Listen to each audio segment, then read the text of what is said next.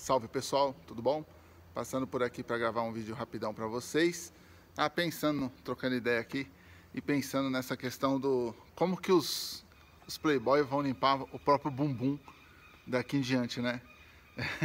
Porque, mano, na moral, tem como a pessoa misteriosa que eu cito no vídeo sempre fala, é o seguinte, tem gente que tem uma empresa em casa, tá ligado? É, um, é uma porra de uma empresa, mano, que trabalha pro cara. O cara ele depende de uma empresa fazer todo o trampo para ele. Né? É um time como se fosse um, uma microempresa. Tem microempresa aí que trabalha com menos gente ainda. O cara tem um segurança que abre o portão para ele, que fica ali na guarita, geralmente com os vidros é, escuros para poder o cara não ver a cara do segurança, nem cumprimentar, né? não precisar cumprimentar. Tem a pessoa que faz a comida dele, tem a pessoa que cuida dos filhos dele, dela, para poder né, deixar eles livres ali, ficar no momento em casa, ficar livre. E aí vai, daí em diante, mano, o luxo não tem limite. Tem gente que tem até cabeleireiro dentro de casa, tá ligado? Tem um amigo meu que falou, mano, eu fui na casa de um cara que tinha um cabeleireiro embaixo, pá, a mulher já saía produzida, já saía maquiada, né, já saía produzida. Então, como o luxo não tem limite, você imagina esse povo todo. Aí tem a pessoa que tem que ir no mercado comprar as coisas, tem a pessoa, né? Tem até mordomo, tá ligado? Na casa do cara. Lá estilo Batman, né? E aí, como que vai fazer, mano? Né? Como que essas pessoas vão ser dispensadas para tocar suas vidas e se proteger? O que a gente está vendo é que essas pessoas estão aí nas ruas, estão é, comprando as coisas para a elite, estão trabalhando para a elite.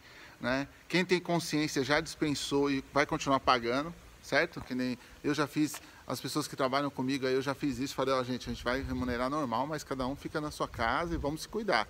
E quem não tem consciência, né, mano? Geralmente os mais ricos é que não tem consciência e não, nem vão fazer o esforço. De, né? Então a pessoa vai lá, vai ter que entregar as mercadorias quando precisar, vai ter que recolher, vai ter que abastecer a casa do cara. Ou seja, muitos da elite aí estão em quarentena, mas o povo que cerca eles não estão.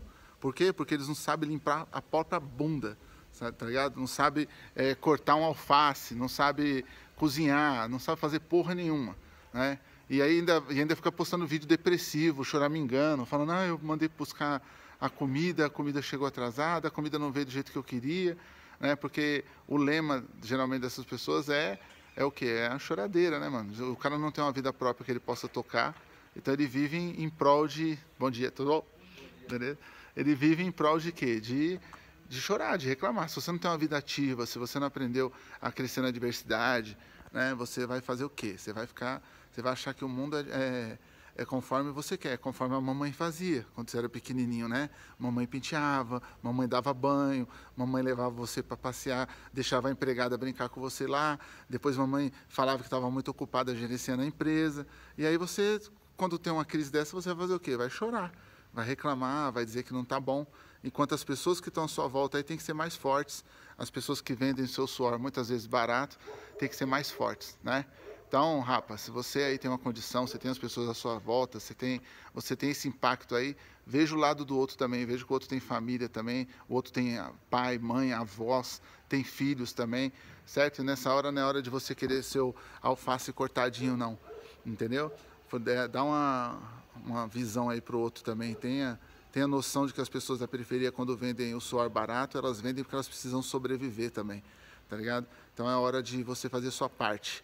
Não adianta ficar é, todo emocionadinho, escrevendo texto na internet, dizendo que ninguém larga a mão de ninguém, isso e aquilo, sendo que você não dispensa seu time aí para poder ficar em casa e dar uma consciência para o cara, que é uma crise, que é um momento delicado, que a pessoa tem que ficar resguardada nesse tempo e que preocupa muito. A gente foi agora na padaria aí, tá ligado? E tava todo mundo na rua, velho, tava todo mundo conversando, tava os comércios abertos, tá ligado? Aqui, né, em Tapicerica pelo menos, né?